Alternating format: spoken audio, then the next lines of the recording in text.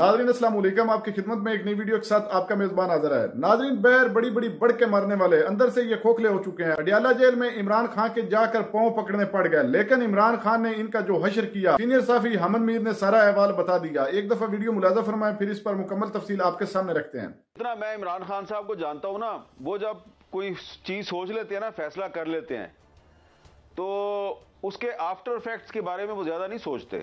ایک یا دو نہیں، تین چار لوگ جو ہیں وہ عمران خان صاحب کے پاس مفاہمت کا پیغام لے کے گئے اور جو جو مفاہمت کا پیغام لے کے گیا اور اگر اس کا تعلق طریقے انصاف سے تھا تو عمران خان صاحب نے اس کی بہت کلاس لی ہے اور یہاں تک کلاس لی ہے کہ اس نے کہا ہے کہ یہاں سے اس اڈیالہ جیل سے میری ڈیڈ باڈی نکل سکتی ہے لیکن تم یہ نہ سوچنا کبھی کہ میں نواز شریف کی طرح ڈیل کر کے تو پاکستان سے باہر چلا جاؤں گا۔ میں نے ڈیل نہیں کرنی ہاں مروانا تو مروا دو۔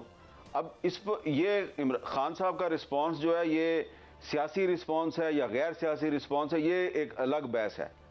لیکن، جس عمران خان کو اڈیالہ جیل میں بند کیا گیا ہے اور جس کے پاس تین چار لوگ گئے ہیں اور اس میں سے ایک بندے نے مجھے خود بتایا نا کہ جب میں نے خان صاحب کو یہ کہا تو خان صاحب نے پھر میری یہ یہ یہ اس طرح سے کلاس لی۔ تو عمران خان تو فی الحال مجھے نہیں لگ رہا کہ وہ کسی ڈیل ویل کے چکر میں ہے۔ اور اسی لیے تحریک انصاف پہ دباؤ بھی بڑھ رہا ہے۔ تو میں آپ کو یہ کمنٹ کر رہا ہوں کہ عمران خان صاحب جو ہیں وہ اس حکومت کے ساتھ کوئی ڈیل کرنے کے لیے تیار نہیں ہے اور وہ اپنی پارٹی کو مسلسل یہ پریشرائز کر رہے ہیں کہ ان کے خلاف تحریک چلاؤ۔ نا میں عمران خان صاحب کو جانتا ہوں نا، وہ جب کوئی چیز سوچ لیتے ہیں نا، فیصلہ کر لیتے ہیں، تو اس کے آفٹر فیکٹس کے بارے میں وہ زیادہ نہیں سوچتے۔ وہ عام طور پہ کہتے ہیں، بس ٹھیک ہے، اللہ مالک ہے، فیصلہ وہ کر دیتے ہیں۔ تو میرا خیال ہے یہ فیصلہ بھی انہوں نے اسی طرح کیا ہے۔ اور جو ڈیل کا پیغام لے کے گئے تھے، ان کو انہوں نے یہی کہا کہ یار آپ میری فکر نہ کریں، میرا اللہ مالک ہے۔ نواز شریف صاحب جو ہیں، وہ جب لندن سے فلائی کیا اور وہ پاکستان پہنچے اور انہوں نے جلسے سے خطاب کیا اور پھر جب الیکشن کی کمپین چلی تو مسلم لیگ نون نے نعرہ لگایا، پاکستان کو نواز دو۔ نواز شریف صاحب جو ہیں، وہ ان کے وزارت عظمہ کے امیدوار تھے۔ ٹھیک ہے جی۔ پھر وہ مانسیرا سے ایک سیٹ آر گئے، لاہور سے جیت گئے۔ وہ وزیر اعظم کے امیدوار تھے بھائی۔ اب وہ خود وزیر اعظم نہیں بنے، انہوں نے اپنے بھائی کو وزیر اعظم بنا دیا ہے اور اپنی بیٹی کو انہوں نے چیف منسٹر بنا دیا ہے۔ تو آئینی اور قانونی لحاظ سے نواز شریف صاحب کو نہیں بیٹھنا چاہیے۔ لیکن آپ یہ دیکھیں کہ پنجاب کا وزیر خزانہ جو ہے وہ بجٹ تقریر پیش کرتا ہے جب پنجاب اسمبلی میں، تو وہ نواز شریف کی تصویر رکھی ہوتی ہے اس نے۔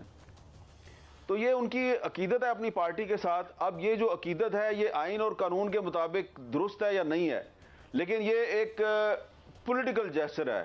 نواز شریف صاحب کو کبینہ کے اجلاس میں بٹھانا ایک سیاسی پیغام ہے کہ بھائی، پنجاب میں تو نواز شریف کی حکومت ہے۔ یہ انہوں نے پیغام دیا ہے اسلام آباد والوں کو، جہاں پہ کہ شاید کچھ لوگوں کا خیال ہے کہ نواز شریف کی حکومت نہیں ہے، کسی اور کی حکومت ہے۔ خیبر پختونخوا کے چیف منسٹر اور وزیر اعظم شباز شریف صاحب کے درمیان ملاقات، ایک اچھی پیش رفت تھی۔ It was a very positive development لیکن اس کے بعد جو وارنٹ گرفتاری جاری ہوا ہے، مجھے لگتا یہ ہے کہ یہ وارنٹ گرفتاری دراصل اس ملاقات کو سبوتاج کرنے کی کوشش ہے۔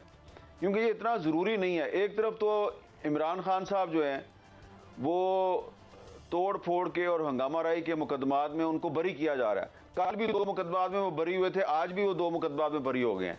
پچھلے چوبیس گھنٹے میں عمران خان پہ چار مقدمے ختم ہو گئے ہیں۔ چار مقدموں میں وہ بری ہو گئے ہیں۔ اور دوسری طرف آپ خیبر پختونخوا کے چیف منسٹر جو ہیں، ان کے خلاف وارنٹ گرفتاری جاری کروا رہے ہیں۔ تو آپ کو اگر ان سے کوئی پرابلم ہے تو ان کے ساتھ بات کریں۔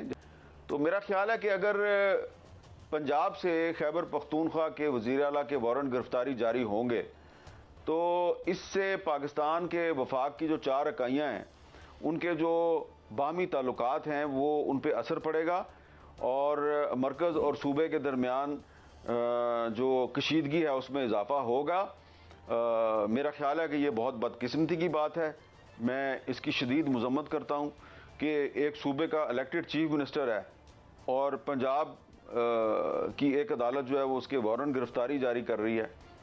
اگر سوچیں آپ کہ اگر کسی پرانے مقدمے میں مقدمے ڈھونڈنا تو کوئی مسئلہ نہیں ہوتا، تو کسی پرانے مقدمے میں اگر خیبر پختونخوا سے پنجاب کے کسی سیاستدان کے اس طرح وارنٹ گرفتاری جاری ہو جائیں، تو آپ کو کیسا لگے گا؟ اب ذرا آپ سوچیں کہ یہ جو وارنٹ گرفتاری کی خبر میڈیا پہ ہائی لائٹ ہوئی ہے تو جو لوگ پشاور میں بیٹھے ہوئے ہیں، جو لوگ ڈی آئی خان میں بیٹھے ہوئے ہیں، جو لوگ بنو میں بیٹھے ہوئے ہیں، کوہاٹ میں بیٹھے ہوئے ہیں، تو ان ان کے دل پہ کیا بیتی ہوگی یار کہ ہم نے اپنے صوبے کا ایک چیف منسٹر بنایا ہے۔ مسلم لیگ نون کے اس سے اختلافات ہیں، لیکن انہوں نے پنجاب کی ایک عدالت سے اس کا وارنٹ گرفتاری جاری کروا دیا۔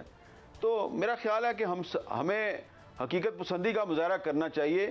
یہ جو سیاسی لڑائی ہے، اس کو سیاسی لڑائی رہنے دیں، اس سیاسی لڑائی کو اتنا آگے نہ لے کے جائیں کہ اس سے پاکستان کے وفاق اور استحکام کے لیے خطرات پیدا ہوں۔ ناظرین، آپ نے ویڈیو ملاحظہ فرمائی۔ ناظرین، یہ جو الزامات کی بچھاڑ لگاتے ہیں، یہ پی ڈی ایم ٹو والے، کیونکہ پی ڈی ایم ون جو ہے وہ تو گرک ہو گیا ہے، یہ پی ڈی ایم ٹو جو زبردستی قوم پر مسلط ہو گیا ہے۔ اب عمران خان کے پاؤں پکڑنے لگ گئے ہیں۔ عمران خان سے ڈیل کرنے کے لیے بالکل تیار بیٹھے ہیں۔ بڑے بڑے پیغامات بھیجے جا رہے ہیں۔ لیکن عمران خان وہ محب وطن پاکستانی ہے، عوام کا وہ منتخب کردہ لیڈر ہے جو ڈٹ کر کھڑا ہے، جس نے کہا ہے کہ موت تو قبول ہے، لیکن ڈیل نہیں کروں گا سودے بازی نہیں کروں گا ناظرین، ان کا بغوڑا نواز شریف، اس کو ایک ڈیل کی آفر ہوتی ہے تو آگے سے شکر کرتا ہے کہ کوئی میرے ساتھ ڈیل کرے تو صحیح، لندن سے بھی ایک ڈیل کے تحت پاکستان آیا تھا اور جب پاکستان سے گیا تھا تو تب بھی اس نے ڈیل کی تھی، بیماری کا بہانہ لگایا تھا۔ عمران خان وہ نہ اور جرت مند دلیر لیڈر ہے جس نے کہا ہے کہ مر جاؤں گا لیکن بیر نہیں جاؤں گا، نہ ہی ڈیل کروں گا، اسی جیل میں میں مرنا پسند کروں گا۔ ناظرین، میں سلام پیش کرتا ہوں ایسے محب وطن پاکستانی کو۔ اللہ تعالیٰ عمران خان کو لمبی عمر دے، اللہ تعالیٰ عمران خان کی حفاظت کرے۔ عوام انشاءاللہ تعالیٰ عمران خان کے ساتھ ڈٹ کر کھڑی ہے اور انشاءاللہ تعالیٰ عمران خان سرخرو ضرور ہوگا۔ یہ جتنے بھی اچھے کنڈے استعمال کر لیں، پتہ انشاءاللہ تعالیٰ حق اور سچ کی ہوتی ہے۔ ناظرین، آپ نے ویڈیو ملاحظہ فرمائی ہے۔ اس ویڈیو کے بارے میں آپ کی کیا رائے ہے؟ کمنٹ سیکشن میں اپنی قیمتی رائے دیجیے اور اگلی ویڈیو تک آپ نے میزبان کو دیجیے اجازت۔ اللہ حافظ۔